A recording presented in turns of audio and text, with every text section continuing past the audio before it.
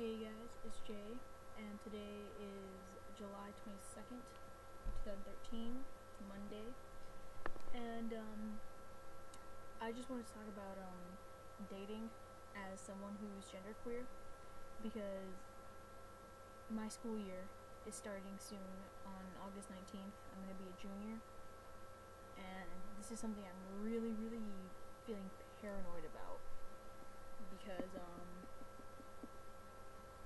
okay I have a problem in which like I feel like most girls at my well at my school anyways most girls don't like masculine women. And so I feel like as someone who's genderqueer I have even less of a chance. You get me? Like I feel like I have an issue because I feel like I'm too much of a girl for the straight girls because too much of a girl for the straight girls because um obviously I have a V instead of a P. And um for the bisexual girls and lesbians I feel like I'm too masculine because well I shouldn't put put air quotes around that. I'm too much of a boy is what I meant with the air quotes. Um because you know I bind my chest and I call myself, you know, handsome guy, and I refer to myself as a guy mostly and stuff like that. So I feel like I'm gonna have an issue with this because I feel like there's not gonna be anybody, you know, romantic wise, anyways, who accepts me for who I am. You get me? Because my school doesn't have like a big trans community. I know, I think, two FTMs. I don't know any MTFs or any other genderqueer people. I only know two transgender individuals. And so I feel like anybody who I'm interested in is not gonna really understand me or, you know, accept me in a way. And I'm just, you know, scared.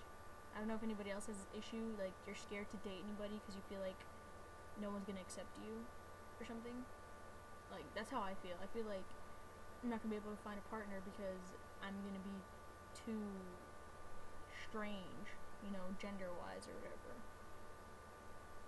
And then, you know, the whole pronouns issue that I'm still undecided on and all that bull crap and how they if they should, you know, introduce me as their girlfriend or their boyfriend or just, you know, their partner or whatever, um, you know.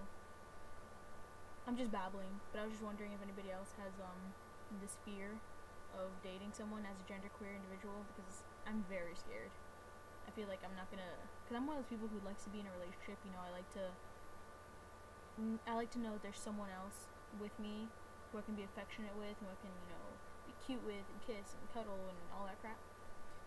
So I was just wondering if there's anybody else who's like scared to date as a someone as you know as identifying as genderqueer, or if anybody else is paranoid about this or whatever. Um, but yeah, I was um, I just want to get my thoughts out there, see if anybody else is uh, scared about dating, and uh, yeah. Thanks for uh, watching. Thanks for listening to me babble. And uh, any questions, just let me know. Alright, until next time.